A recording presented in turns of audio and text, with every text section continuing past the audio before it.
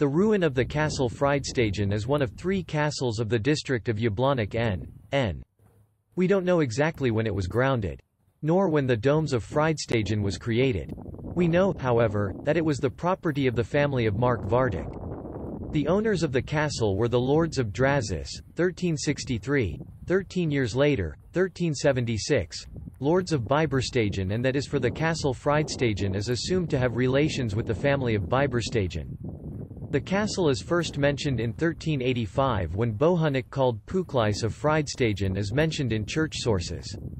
At the turn of the 14th and 15th century the castle was held by the family of Kamenek of Strizovice and Kakovice but it was owned as early as 1409 by Bohush of Kovane. He was a Catholic and therefore the castle was besieged in August 1432 by Hussites under leadership of Jan Kapik of Sani. Bohush of Kovane made however an agreement that he wouldn't talkie any hostile actions against the Hussites and later he even converted to Utraquists. In 1448 he helped George of Poděbrady to conquer Prague. Then it was Jan Zajic of Hazemberg who became a bailiff of his property in 1460 after his death. Then several lords changed in taking over this property. In 1540 lords of Vartemberg bought the castle and the estate.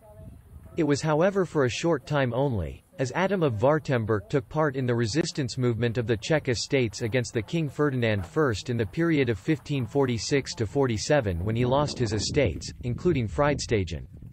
A new powner of Fridstagen was Jan of Opiarstorf, who bought it together with Český Dub from the king in 1556.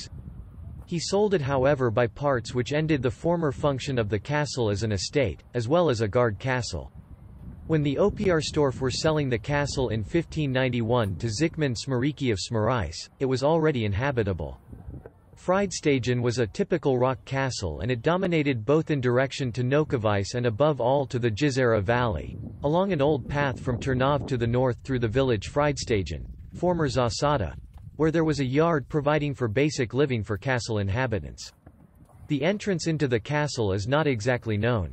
It is believed to be on the right of the tower through ground floor of the palace itself, a castle lord's residence. As there was little space in the castle the whole barrier consisted of a number of small rooms carved out in the rock.